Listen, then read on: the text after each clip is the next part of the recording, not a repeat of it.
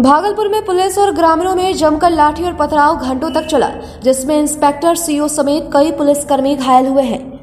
घटना के बाबत बताया जा रहा है कि भागलपुर ज़िले के नाथनगर थाना क्षेत्र के मुरापुर चौक के पास से नाथनगर थाना पुलिस पुराने मामले के आरोपी को गिरफ़्तार किया था, जिसको लेकर ग्रामीण रिहाई को लेकर भागलपुर सुल्तानगंज मुख्य सड़क मार्ग को जाम कर पुलिस के खिलाफ नारेबाजी कर रहे थे।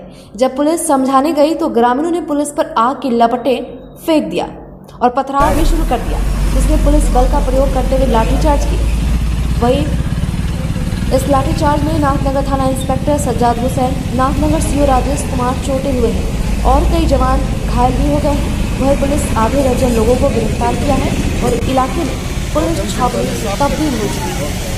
बीटी न्यूज़ बिहार के लिए भागलपुर से राहुल कुमार की रिपोर्ट। पूर्व से लंबित जो है, इनके ऊपर प्राथमिकी दर्ज था, जिसका कि इन लोग को गिरफ़्तार किया था थाना पर। उसके विरोध में जो है यहाँ पर आगजनी किया जाम किया और जब पर पुलिस प्रशासन भी आए तो हटाने के लिए उनके ऊपर भी हावी हो गया और आग का गोला फेंक दिया। सीओ साहब घायल हो गए इंस्पेक्टर साहब घायल हो गए जिसके ऊपर बाद जो है इन लोग को खदेड़ने के लिए लाठीचार्ज किया गया। क्या विवाद है क्या विवाद?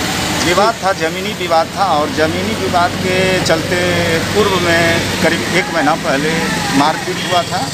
सिकंदर रजक से और उसके विरुद्ध जो है एफआईआर किया गया था थाना में सिकंदर रिजेक्ट किए थे एफ़ आई हाँ सिकंदर रजक एफ़ किए थे और उसके बाद जो है चौदह लोग को अभियुक्त बनाया गया था जिसमें कि ये लोग थाना पर गए थे मिलने के लिए उसी संबंध में जिसको कि गिरफ़्तार करके वहाँ पर रखा गया। फिर आज ये आगजनी क्यों किया लोग?